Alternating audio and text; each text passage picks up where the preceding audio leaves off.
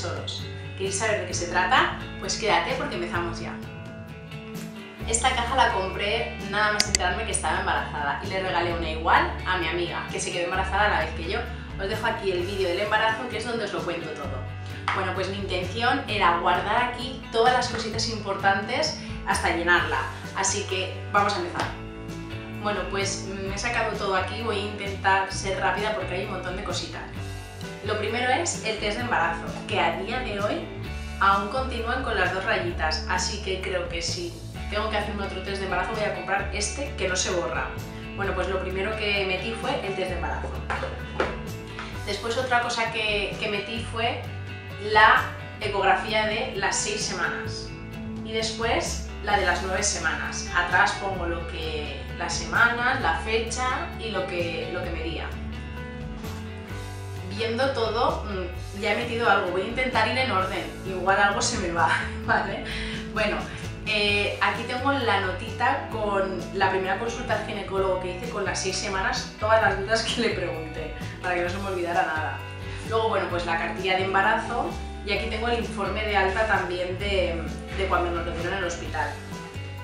Aquí tengo, bueno, eh, aquí en la comunidad valenciana, en Valencia, hay una tradición que es dar nueve vueltas a la Catedral de la Virgen, una por cada mes, y rezar una oración, así que bueno, a la Virgen del Buen Parto, así que mm, yo lo hice y aquí tengo la, la estampita.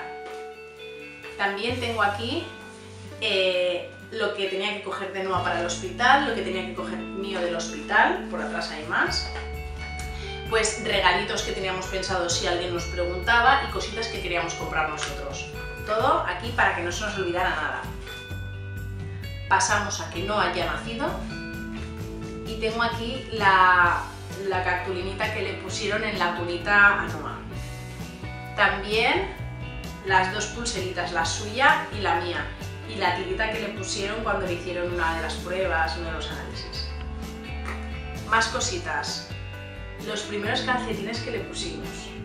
Los de él y los míos cuando di a luz. Todos guardaditos, lo tengo todo aquí. Ahora ya voy a ir metiendo cosas que no tienen orden porque bueno, cada una es, ¿vale? Pero mirad, aquí estos son mm, varias pues, postales de bienvenida que, le fueron haciendo. Después tengo aquí el primer mechoncito que le cortamos de pelo. A ver si se puede ver.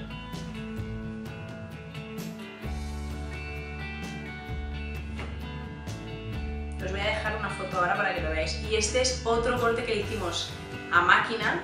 Bueno, y aquí no sé si se puede ver mucho.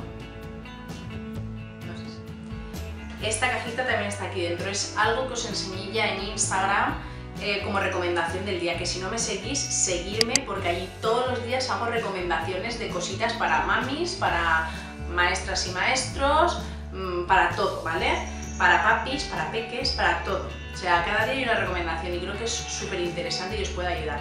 Bueno, pues aquí en esta cajita que la hice yo, guardé el cordón umbilical. Pues esta cajita también está aquí dentro. ¿Qué más? Bueno, también en el vídeo de, los bolsos del carro, que os lo dejo aquí arriba también para que podáis ir a verlo, os enseñé también esta, esta toallita que yo llevaba en el carro para quitarle bueno, pues el reflujo a Noah y demás. Y tengo una que me he guardado de, recuerdo. Más cositas que hice. Esto, para el coche. La verdad es que eh, lo hice con muchísimo cariño y demás, pero luego no se cogía bien porque las ventosas, no sé, era... Intenté poner con Blue mm, de mil formas y no hubo manera, pero bueno, lo tengo de recuerdo. Bueno, aquí dentro también tengo el control de peso de Noah desde que nació, que la verdad que nos llevaba un poco porque le costaba coger peso al principio, así que aquí, bueno, iba apuntando todos los controles que íbamos haciéndole semanalmente. Eh, la pulserita de estas vacaciones que llevo cuando estábamos de camping. Después, eh, la primera vez que nos tocó ir al hospital, que fue el 17 de enero, o sea, un mes, eh, no, el 7 de enero, perdón, Así que bueno, me queda todo esto de recuerdo. El primer cepillo de dientes con el que empezamos el hábito de, que se lavara los dientes. Es de Bebé Confort, por si os interesa. Bueno, esta carta a los reyes se la hicimos a Papá Noel, pero esta la escribí yo, o sea, la de los reyes sí que participó él y puso su huellita y luego detrás un dibujo de cuando lo hicimos. Así que esta es más emotiva. Y después, a ver, eh, un vecino nuestro eh, tiene un puestecito en la 11 y nos dijo que eligiéramos un número y elegimos el de la fecha de nacimiento de Noah. Esto fue nada, mm, en marzo, ¿sabes? Lo hicimos. Y, pues eso, elegimos la fecha de, de Noah. Ahora voy a pasar a cositas que tengo de su bautizo, recuerdos, ¿vale? Este es el pechito que le regaló mi madre eh, me lo regaló antes de que naciera y se lo pusimos para el bautizo, lo estrenó el día del bautizo. Después, bueno, pues los regalitos que hicimos a, los nenes, regalitos que hicimos a las mujeres y a los hombres. Y una etiquetita más que me he querido guardar de recuerdo. Os dejo algunas fotos del bautizo.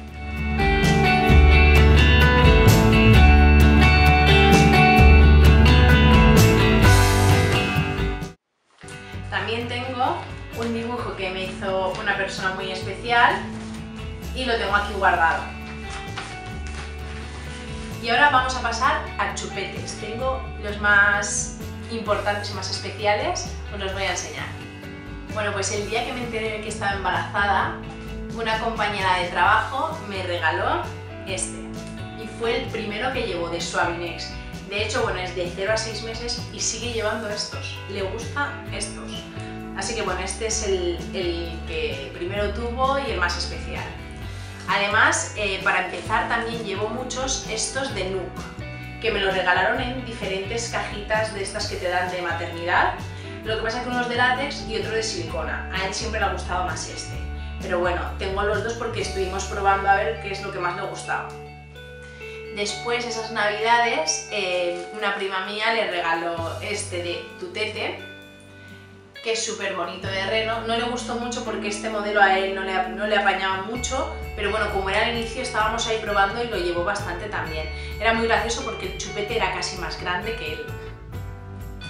Este se lo regaló mi tía Tere y lleva el nombre también es de Tutete y este eh, era eh, recto y, bueno, nos explicaron que era similar a la, al pecho de la madre, como él estaba tomando pecho, bueno, pues casi no interferiría eh, veis es diferente las tetinas, pero bueno, eh, la verdad es que lo utilizó también bastante, pero como os he dicho, a él siempre el, que más le gustaba era este de Suavinex.